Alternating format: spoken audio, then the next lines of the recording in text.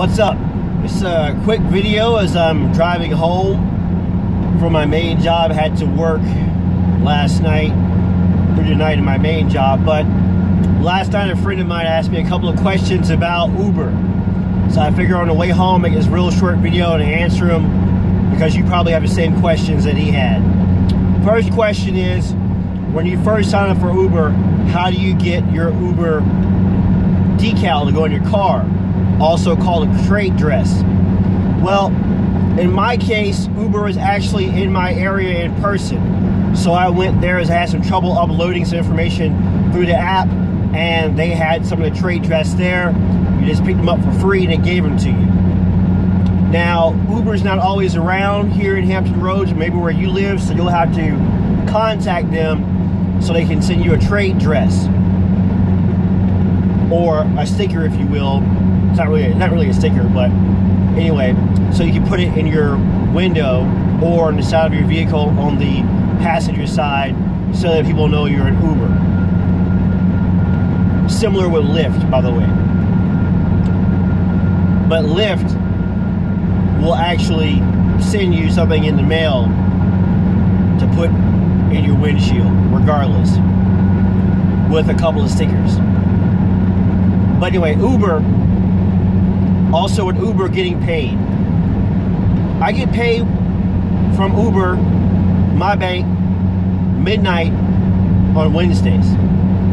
The only time I don't get paid midnight on Wednesdays is if I didn't work that particular period, pay period, or I already took the money out with InstaPay. Lyft is basically the same thing. Now, InstaPay, say you work, do two trips, make, I don't know, $10. You can cash out.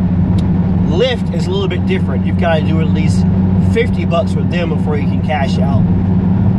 Both, you can cash out, my throat's getting dry, sorry. Both you can cash out almost any time. Only time I have, have trouble cashing out is if the banks that Uber or Lyft is dealing with is doing maintenance or it's like a Sunday night right around midnight, say to about 2-ish in the morning, whatever, you might have trouble because they're doing their, you know, billing, they're doing their uh, payroll, if you will, cycles. So, um, hope I answered your question.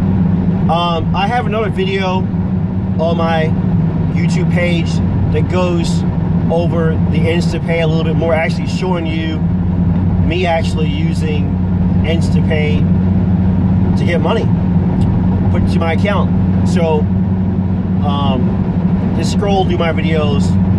It's in one of them. Anyway, that's it. Short video. I'm driving home. Like I said, I drove on my main job all night last night. So, didn't do any Uber at all last night. Didn't do any Lyft at all last night. Not doing any Uber or Lyft this morning either. Tired, going home, going to sleep. All right. My Uber referral code will be in the description. And my Lyft referral code would also be in the description. Sign up. Get your driver's sign up bonus by signing up for both. Depending on what market you live in, we can both get paid. That's it. Be safe. Uber on and Lyft up.